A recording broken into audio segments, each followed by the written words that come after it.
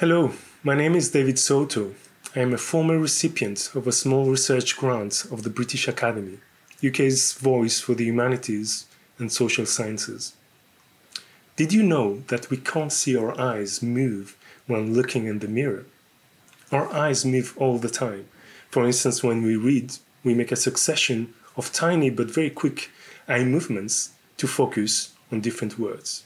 We can see those eye movements very easily in others, but not in ourselves when we are looking in the mirror. Why is that? First, do not take my word for granted. Go find a mirror and do the following.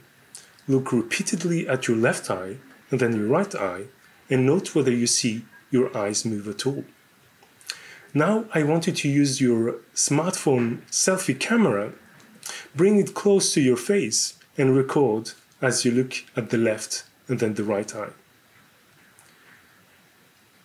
You should now see a very striking difference between the recording you just made and what you saw in the mirror. It is very easy to see the eye movements in the recording, but your gaze is perfectly still transfixed when looking in the mirror. Why is it so different?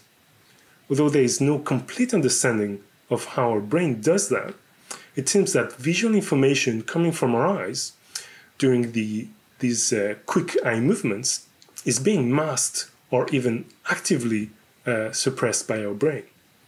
Imagine a movie being filmed with an extremely unsteady camera. It would be very disorienting and even sickening to watch.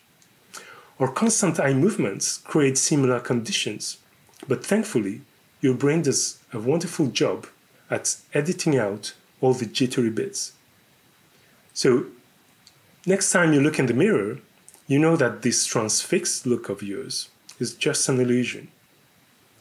And this is my answer to Did you know in two minutes, and I hope it gives you a glimpse into how eye movements are relevant to vision. What else can we learn from studying eye movements? Well, in my research, I am interested in the different ways in which we can use our eyes to control a computer. This work can be relevant to enhance, uh, for instance, video gaming experience, or inform the kind of medical technology that is being used to support people with severe physical disabilities. You can find more about eye movements in my blog for the summer showcase or learn more about my research on my lab website.